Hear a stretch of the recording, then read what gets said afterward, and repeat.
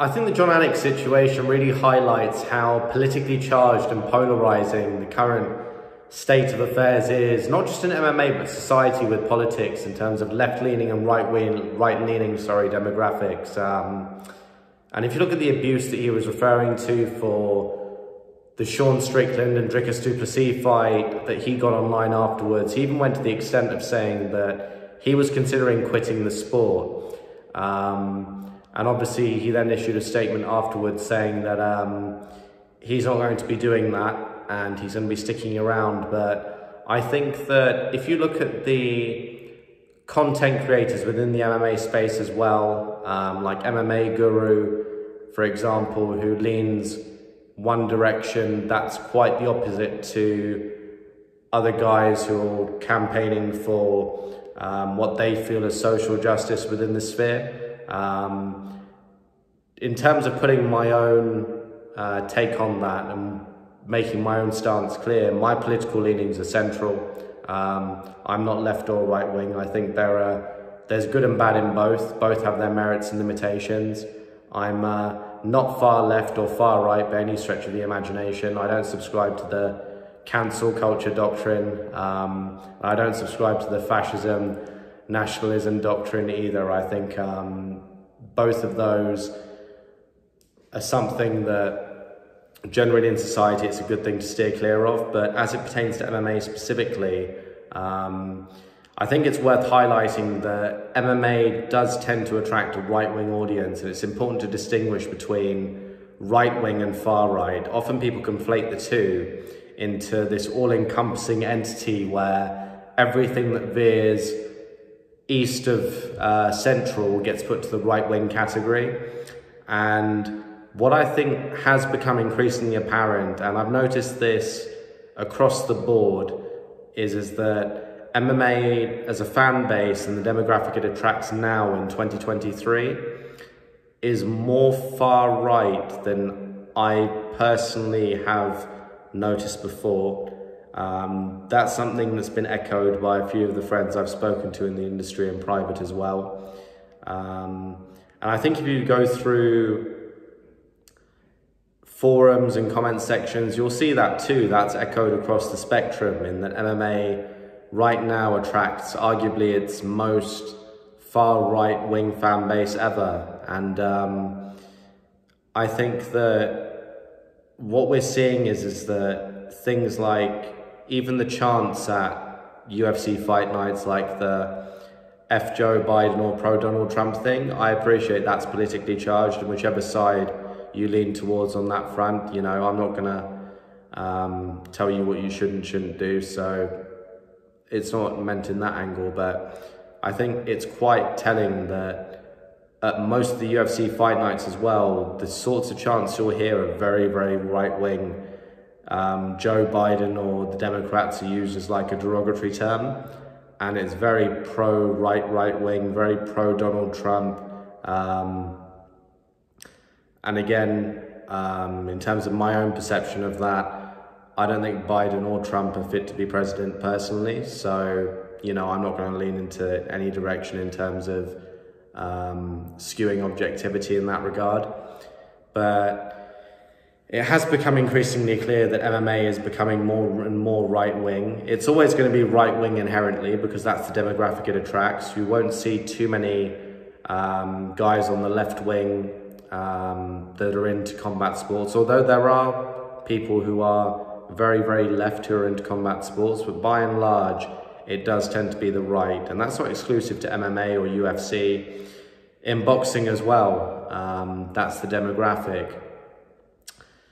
Now, in terms of media members and content creators alike, I noticed that there's a real polarity um, in terms of where people sit on the right, on the left and it's sort of split into two halves, put it on the middle, into two halves where on the left you've got the guys who are campaigning for fighter pay and campaigning for health insurance and what they see as social injustice or they feel that the UFC have excessive power and they use exploitative practices, that's their view, um, and they campaign for that very hard. And on the other side, you've got the pro Dana White um, supporters who feel that everyone needs to be indebted to him and the whole corporation for what they've done for the growth of MMA. Because obviously, with the UFC's growth, everyone else has benefited from that. The sport's become bigger, and that's what they argue. Um, and there's no one really in between.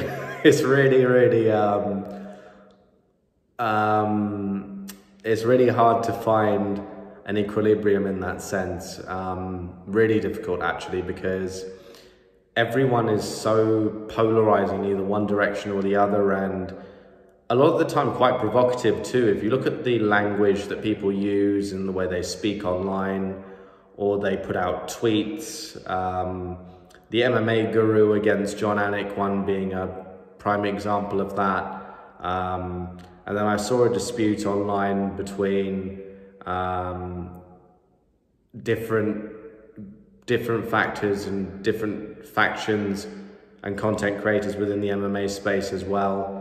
Um, and they make their feelings very clear politically too. They're either very left leaning or very right leaning.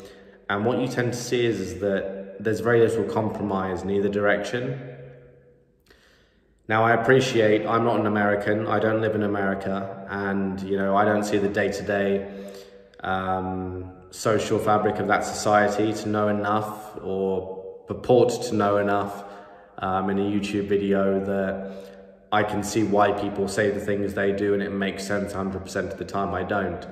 But I think it is partly wide, it's partly a wider reflection of the US society in general and how charged everything is politically, and that spills over into MMA now as well. I think we see that in the content that's produced, um, the sorts of discussion points that are put out, and that's why I wanted to make this video because coming in from a central angle, I do think there is merit to what both sides are saying. I think that it's always important to ensure some degree of competitiveness in the industry.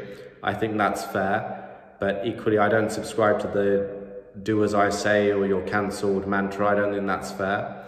And then on the other side, I do agree in the sense of when you say that the UFC's growth is partly, well, it is to a strong degree responsible for why MMA is where it is. I agree with that, but I don't agree with the they are exempt from scrutiny. I think the UFC are subject to scrutiny, as is any corporation or any fighter or any promoter or any faction within combat sport. No one is exempt from criticism. And it's quite difficult um, being in the middle because very few fans and content creators alike can relate in that sense.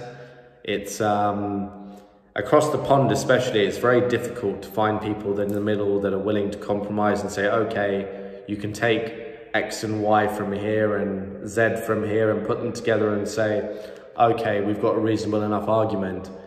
Um, but with the Jon Anik comments, I mean, I think everyone is human to a degree. And if he felt that, look, I'm human, I'm getting non-stop abuse for how I judged a fight, then I understand where he's coming from. But at the same time, I don't necessarily feel that all of the criticism he was getting was um, objective in that sense. And I felt that there was a cult element to that in that being very, very far right, very, very pro Sean Strickland and leaning in that direction. Um, I don't agree with everything Jon Anik says. In the same way, I don't agree with everything everyone says. There's good and bad in what everyone does and says, but it's become very polarizing to the point where I noticed with the Sean Strickland uh, defeat, I scored it 3-2 to Dricus, but if you had it 3-2 to Strickland, then I could make a case for that very easily because you could also say excuse me. You could also say, um, if you do nothing with takedowns or top control and it doesn't lead to damage or active submission threats, then that doesn't constitute um, the round going your way or the points coming your way, so to speak. So if someone had that fight 3-2 to Strickland, I wouldn't argue with that at all. Um, it's 50-50, very open to interpretation. Most people gave it to Strickland, and like I said, I don't disagree with that. Um, if I rewatch the fight, I probably have a different view. And if I watched it a few times, I'd probably uh, flip between DDP and Sean Strickland a few times over. So that remains to be seen. But I've noticed that when fighters are attacked these days, then the associated political connotations they have also get attacked along the way. And what I mean by that is, is that if Sean Strickland is judged to have lost a fight, as was the case with Jon Anik, then um, I think that people take that very personally and they then sort of feel right because he showed he spoke about Sean Strickland losing in that way. That's an attack on our side of the political fabric or that side of the political leaning. Um, but at the same time, this is the fight business and everyone is entitled to an opinion. Um, and, you know, you do have to be thick skinned to be a combat sports content creator or in the boxing and MMA space generally. If you're not, you're going to be in trouble. Um, naturally, we're all human. There are things that you'll see online sometimes that you're not going to enjoy. And at the same time, there are things online that are said that you are going to like. So it's part and part of the parcel, and that's just an inherent part of life. Um, but I do feel that going forward, it's going to be really interesting to see what sort of landscape lies within MMA media generally, because very much, well, not so much the boxing world as much, but very much like society in America, I think, everything is becoming so politically charged that I'm not sure if it's going to be resolved anytime soon, this sort of media divide to the left and the right wing. Um, and I think it's going to become more polarizing as time goes on, particularly given that the next election is due. Um, and yeah, it's going to be really interesting to see how that unfolds as well. Um, but irrespective of whether you're Democrat, Republican, Biden, Trump, whoever you support or lean towards, um, it's going to be interesting to see how that inadvertently, through the societal tension there is,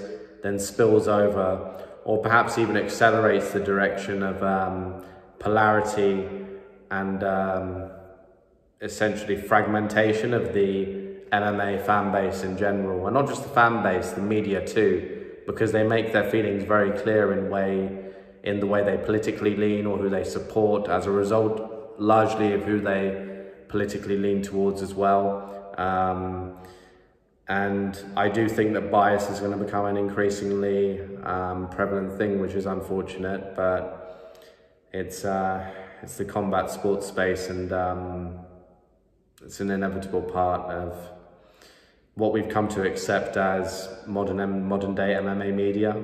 Um, but I think that going forward, um, it's going to be interesting to see that. But in terms of myself, I think that looking at it from a central lens, it is quite interesting in particular to see how things are dividing, going left and right, and leaning more so now than ever before. And look, I'm 27, I appreciate my life experience isn't anywhere near comparable to the likes of uh, Max Kellerman or Luke Thomas, who are double my age, for example. Um, but from what I have seen, albeit 27 years, um, I do feel that over the past decade in particular, this is the worst I've seen it in terms of polarity. A lot of bias in both directions, left wing and right wing, pro UFC, anti UFC. Um, and I don't see that stopping or finishing anytime soon, to be frank with you. Thank you guys for watching. If you have any questions that you'd like me to answer for you in future videos or the extended breakdowns, just tweet them over to me. That's at ElusiveRaf on Twitter. If you guys want to see my daily fight analysis uploads, I upload those every day to Instagram and that's at Elusive 2.0 on Instagram.